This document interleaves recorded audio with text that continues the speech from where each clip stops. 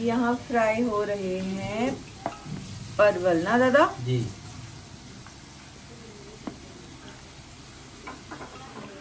परवल एकदम गाँव के स्टाइल। ओके। आज दादा मेरे लिए बना रहे हैं आलू परवल की सब्ज़ी। ये इनका स्टाइल है बनाने का और बहुत ही मज़ेदार बनती है। तो आज मैंने फिर से कल ही बनी थी और कल ना मैंने एक ही बार खाई और फिर खत्म होगी। तो कुछ सब्ज़ियाँ ऐसी होती है ना जो मन करता है दो तीन बार खाओ, इसे अच्छे से मन भरो।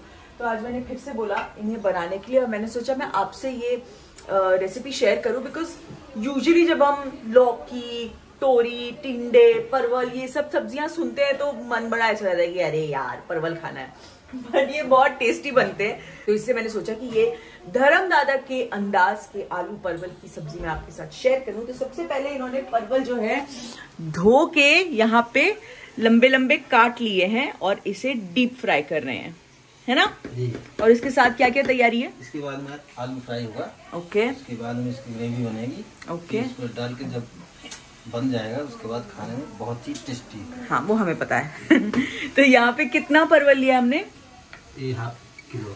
हाफ़ के जी परवल के लिए हाफ़ किलो आलू है और प्याज कितना है? तीन प्याज तीन टमाटर। एकदम बड़े बड़े तीन प्याज तीन टमाटर लिए हैं, मस्त। और ये अदरक लहसन का पेस्ट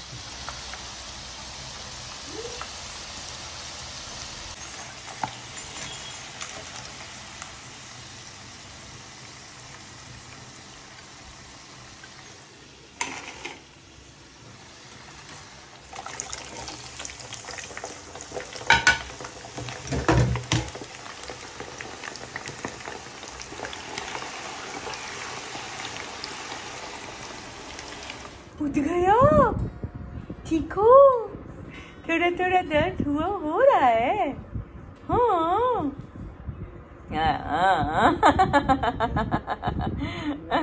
बहुत दिनों बाद ब्लॉग बना रही हूँ। I think around eight ten days हो गए हैं। अह, कोई ऐसे स्पेसिफिक रीज़न नहीं है बस पिछला हफ़्ता थोड़ा सा लो भी था and because of a lot of reasons और फिर रूहान का जो है मेनली जो रूहान का है उसका टीदिंग स्टार्ट हो गया है। तो वो बेचारा बहुत ज़्यादा पेन में रहा है अभी। अ, कल से थोड़ा स्टेबल हुआ है बिकॉज़ अब हमने उसे रेगुलर मेडिसिन देना शुरू कर दिया है। सो so, uh, तो इसलिए वो थोड़ा स्टेबल हुआ है थोड़ा दर्द कम हुआ है।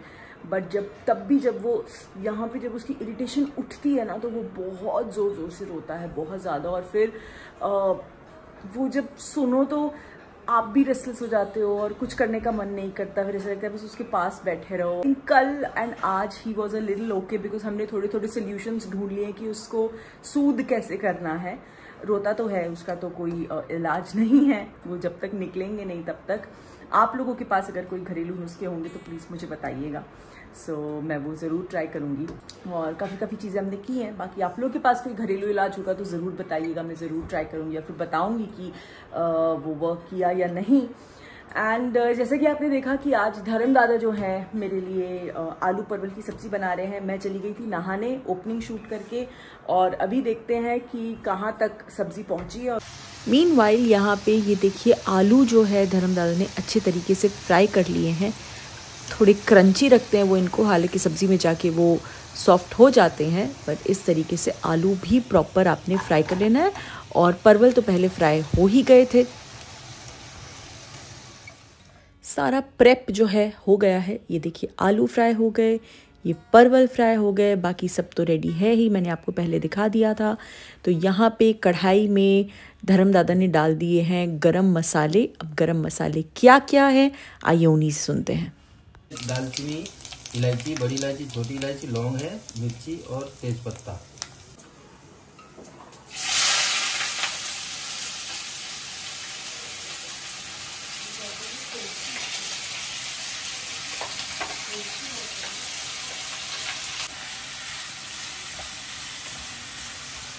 और धर्म दादा इसमें मिर्च बिल्कुल नहीं डाल रहे हैं, क्योंकि मुझे मिर्च नहीं चलती। लेकिन आप इसमें मिर्च डाल सकते हैं ना तो इस पॉइंट पे हरी मिर्च डालें या कैसे? जैसे कुछ लोग पाउडर डाल के तीखा करते हैं कुछ लोग हरी मिर्च खाते हैं तो जैसे आपको तीखा बढ़ाना हो वैसे बना सकते हैं। तीखा बढ़ाने के बहुत सारे ऑप्शन है। और ये अनियन के ट्रांसल्यूसेंट थोड़े पिंकिश होने के बाद दादा ने डाला दो चम्मच अदरक लहसन का पेस्ट और उसे अच्छे से मिक्स कर लिया और कुक तब तक किया जब तक उसकी कच्ची महक चली न जाए।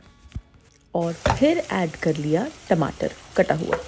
तो कोई पाउडर मसाले नहीं डाले अब तक हमने? अभी तक कुछ नहीं डालेंगे। जब ये हल्का सा और हो जाएगा पेस्ट फिर हम सब मसाले डालेंगे। तो मतलब आपका और मेरा बनाने का तरीका ये अलग है। मैं प्याज को बहुत भूनती हूँ। आपने प्याज को ज़्यादा नहीं भूना है सिर्फ़ उसको पिंकिश होने दिया है। उसके बाद अदरक लहसुन का पेस्ट डाल दिया और अब आपने टमाटर डाल दिए। ये ये थोड़ा सा मतलब हो जाएगा ना? हल्का सा ही। हल्का सा। उसके बाद जो भी पाउडर डालना है डालेंगे। और फिर इसको इसमें डाल देंगे।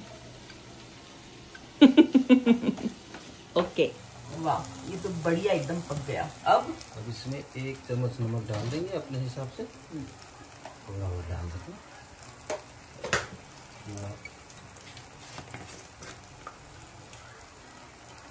चम्मच हल्दी।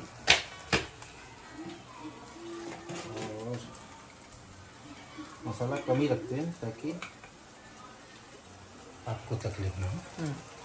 बस एक ही चम्मच? बहुत है। कल भी इतना ही डाला था? हाँ। अरे वाह। ये क्या चिकन मसाला? ये चिकन मसाला। हमारा फेवरेट जी। एक कंपलसरी है। ये थोड़ा ज़्यादा बड़ा है एक ही चम्मच यही है लेकिन थोड़ा ये भर के वो थोड़ा लेवल था। हाँ। और ये है गरम मसाला। ओके ये ऐसे ही डालूँगा अंदाज से। अंदाज से। कोई चम्मच चम्मच नहीं है। बस। इसके बाद कुछ समझो ये एक चौथाई चम्मच जी। अब इसको हम फिर से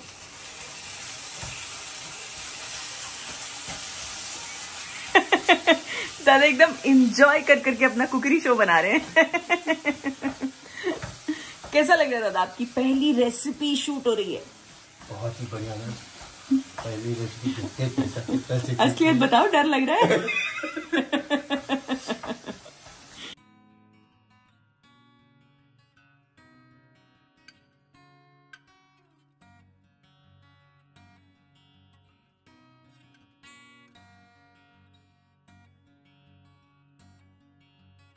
इसमें डाल देंगे ये जो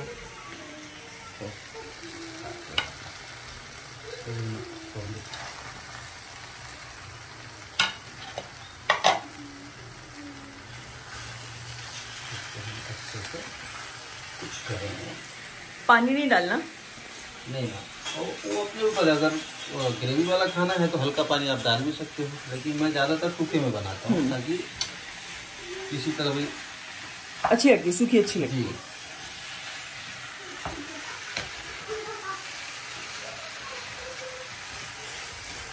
है मिला दिए हैं। इसको स्लो आँच पे 10 मिनट तक छोड़ देंगे। उसके बाद फिर खोल के देखेंगे कैसा बन रहा है। ओके डन वाह माशाल्लाह। खुशबू है कि नहीं? बहुत ज़्यादा। थोड़ा देर रख देते। ओके थैंक यू दादा। वेलकम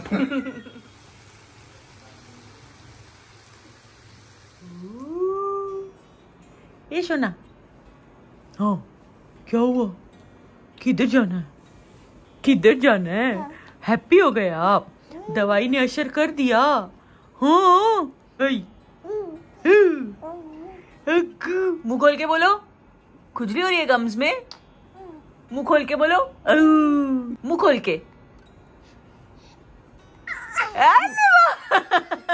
बस बीच बीच में ऐसे ही मस्ती कर करके हम इसे जितना डिस्ट्रैक्ट कर सकते हैं ना, हम कर लेते हैं।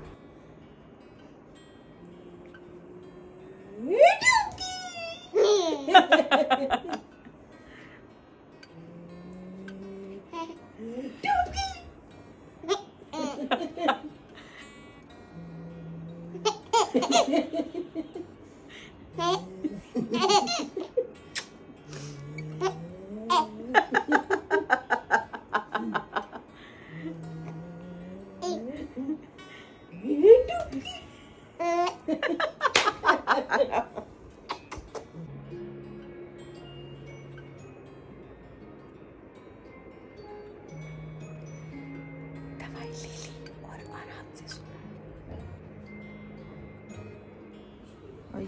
गया है मेरा वी फास्ट इस शॉप से which is called design touch ये बैंड्रा में शॉप है।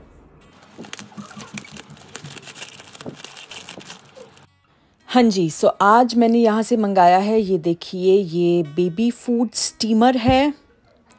बेबी कुक नियो और ये मैंने कुछ फीडिंग बोल्स मंगवाए हैं। ये एक टाइप का है, ये दूसरे टाइप का है। और ये देखिए, ये है थर्ड टाइप का ये वाला।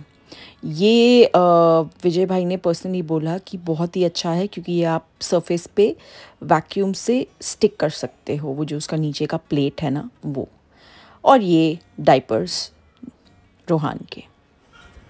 सो ये सारा सामान जो है, ये मैंने मंगाया है डिज़ाइन टच से। So design touch is this shop in Bandra hill road वहाँ पे विजय भाई हैं आई डोंट नो वो देखते होंगे या नहीं बस दिल से बहुत बड़ा थैंक यू उनको उनकी पूरी शॉप को। क्योंकि मैंने जब मैं हॉस्पिटल में थी obviously Ruhaan was a premature तो uh, मैं बिल्कुल भी रेडी नहीं थी आप सब ये बात तो जानते ही हैं। तो मैंने मैक्सिमम शॉपिंग जो ज़रूरत की चीज़ों की है वो सब हॉस्पिटल में बैठ के व्हाट्सएप के थ्रू की है क्योंकि पंप मंगवाना था आ, तो स्पेक्ट्रा का उन्होंने सजेस्ट किया बताया। आ, आ, फिर उसके बाद स्टेरिलाइज़र मंगवाना था। वो उन्होंने बताया कौन सा बेस्ट है। चाहे रूहान के डाइपर्स हो, उसके ब्लैंकेट्स हो, उसकी बेडिंग हो, हर एक चीज़ मैंने डिज़ाइन टच से मंगाई है। हर चीज़ में बहुत सारी वैरायटी है। तो आपके बजट के हिसाब से विजय भाई helps you out with the best what he has अभी हाल ही में मैंने प्ले मैट्स भी मंगवाए हैं, जो बहुत ही अमेजिंग है। उसका शॉर्ट भी मैं आपको दिखाती हूँ। So so, yes uh, yes, ये एक पीस ऑफ़ इंफॉर्मेशन और अभी फ़िलहाल मैंने ये स्टीमर और ये बोल्स मंगाए हैं क्योंकि आई एम गेटिंग रेडी इनशाला अभी 21 तारीख से जो है रूहान सॉलिड स्टार्ट करेगा नॉट सॉलिड्स एक्चुअली वो सॉफ्ट लिक्विड uh, से हम स्टार्ट uh, करेंगे तो ये चीज़ें काफ़ी यूज़फुल होंगी। और आप बताइए आप लोग uh, कि मुझे किस किस चीज़ के साथ रेडी रहना चाहिए? बाकी डॉक्टर उगरा ने जिस हिसाब से मुझे पूरा प्लान भेजा है उस हिसाब से मैंने ये चीज़ें मंगवा ली हैं। और ये देखिए ये प्ले मैट है ये डबल साइड है और बहुत ह्यूज है। इस साइड पे ये प्रिंट है इस साइड पे ये है।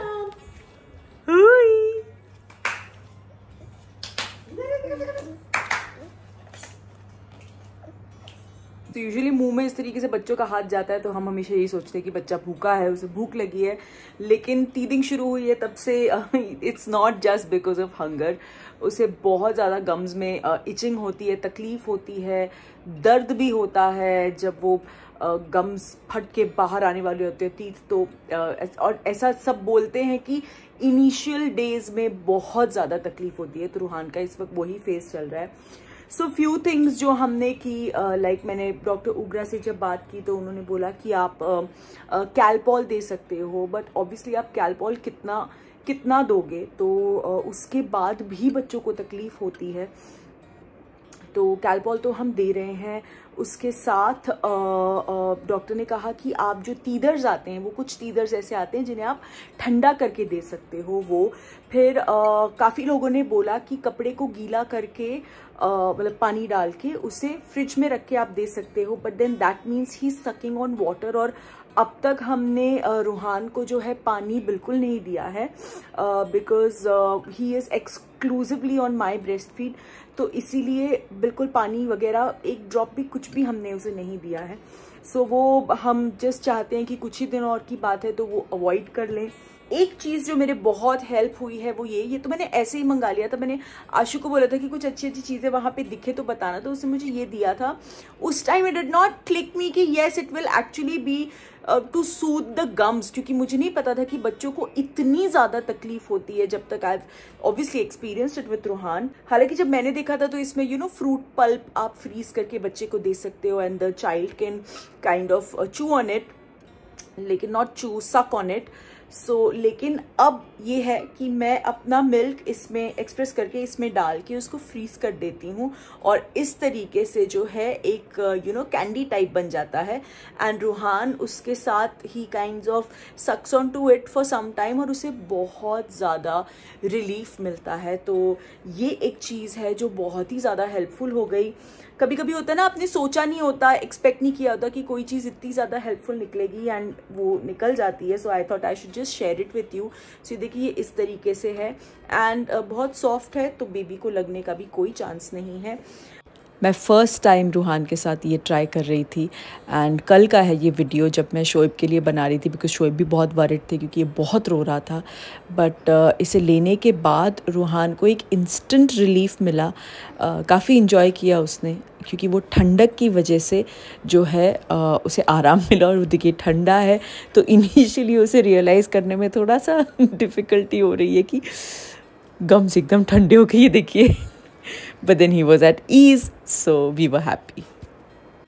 बस इस वक्त तो यही कोशिश है कि उसका पेन जितना हो सके हम मिनिमाइज कर सकें और यू you नो know, उस वो ऐसे किसी भी चीज़ से हंसता है खेलता है तो बहुत रिलीफ मिलता है। बट एज आई सेड अभी हमने काफ़ी सारे वेज ढूंढ लिए, जैसे कि एक ये है इससे मैं दिन में एटलीस्ट दो बार दे देती हूँ तो उससे वो थोड़ा रिलीफ हो जाता है। फिर डॉक्टर ने कैल्पॉल बोली है तो वो दे देते हैं। और ऐसे कौन से नुस्खे हैं, आप प्लीज़ मुझे बताइएगा। कई लोगों ने गम्स की मसाज बोला है तो वो हम कर देते हैं। बाकी बस बेबी उसके लिए अवेलेबल रहते हैं, और कई बार तो वो मेरी उंगली पे एंग एंग एंग करता है तो मैं करने देती हूँ। बिकॉज़ उससे भी उसको थोड़ा हैप्पी होता है, थोड़ा सा वो डिस्ट्रैक्ट हो जाता है। तो फ़िलहाल रोहान जो है वो खेल रहा है और इससे पहले कि वो रोना स्टार्ट करे, मैं ये ब्लॉग आज यहीं एंड करती हूँ। I just picked up the phone और मैंने सोचा कि बहुत दिन हो गए हैं तो आज मैं आप लोगों से मुलाकात कर लूँ। सो आई होप आपको आज का ये ब्लॉग अच्छा लगा हो। I just try to share a lot of information is just that मैं नई नई चीज़ें सीख रही हूँ विथ रूहान तो मेरा बहुत मन करता है कि मैं जल्दी आप लोगों के साथ शेयर करूँ कि अगर आप में से किसी एक को भी हेल्प मिल जाएगी तो मुझे बहुत अच्छा लगेगा। एंड uh, पिछला जो मैंने उसका पूरा सेंसिटिव स्किन का रिजीम आप लोगों के साथ शेयर किया था उसमें कितनी मदर्स ने अपने इनपुट्स दिए हैं और कुछ मदर्स ने ये भी बोला है कि वो भी डेफिनेटली यूज़ करना ट्राई करेंगी। एंड कईयों ने ये लिखा है कि उन्होंने यूज़ किया है और येस उनके बेबीज़ के चाइल्डहुड की मेमोरीज वापस आ गई। तो I think it's become a nice kind of you know interaction हम मदर्स के बीच में so let's keep this on and आप लोग भी अपने इनपुट्स बताइएगा कि तीदिन के दौरान आपके एक्सपीरियंसेस क्या थे और uh, आपके बेबीज को आपने कैसे सूद किया? And yes just pray for Ruhaan कि उसकी ये जो तीदिन की जर्नी है ये थोड़ी सी ईजी हो जाए। बहुत जल्द मिलेंगे नए ब्लॉग में। तब तक आप सब अपना ख्याल रखिए। Love you all